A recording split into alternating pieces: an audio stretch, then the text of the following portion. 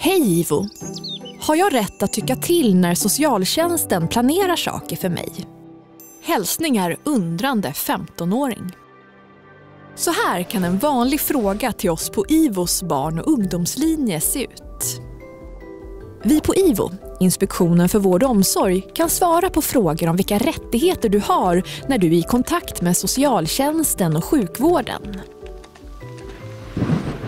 Du har många rättigheter. Till exempel att växa upp i en trygg och säker miljö.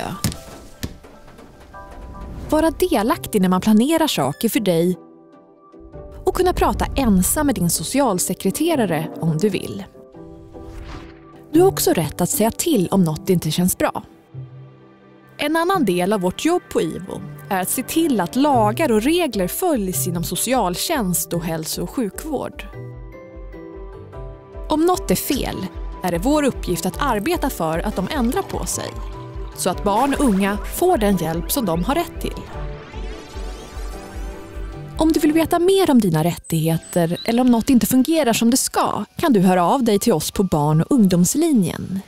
Det är gratis, anonymt och behöver du tolk så ordnar vi det.